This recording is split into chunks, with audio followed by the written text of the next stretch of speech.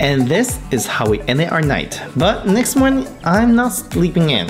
Today, I feel like checking out some independent art scenes. Now, we need to take a quick bus over.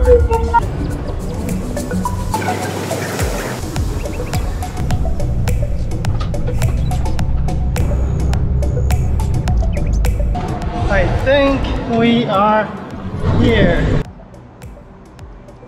Yeah, it says this is actually Dubai's first coffee shop. Let's check it out. Oh. It's pretty big here. But I'm going to fill up first.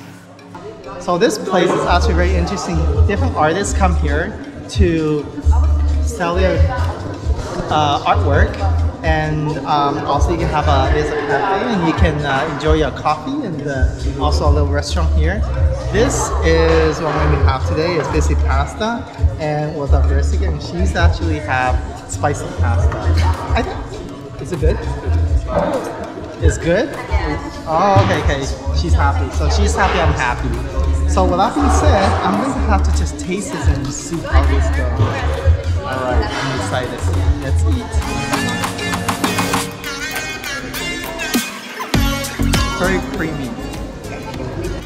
After my meal, or our meal, let's make some artsy friends. And it didn't take too too long. My art is called miniature art. It's an art that um, you, I use um, uh, ink pen, pens to do my work and like um, I call it in chaos.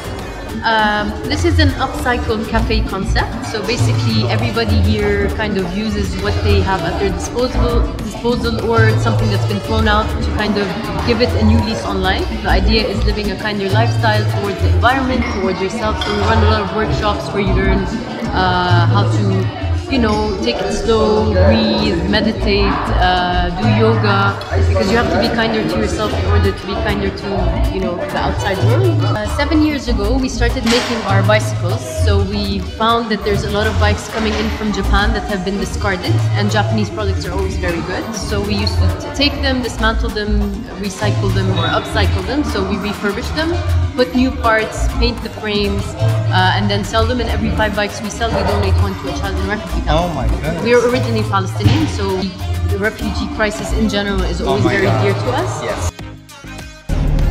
So this alley has a lot of galleries and um, they're all mom and pop. With that being said, let's go and check some of them out.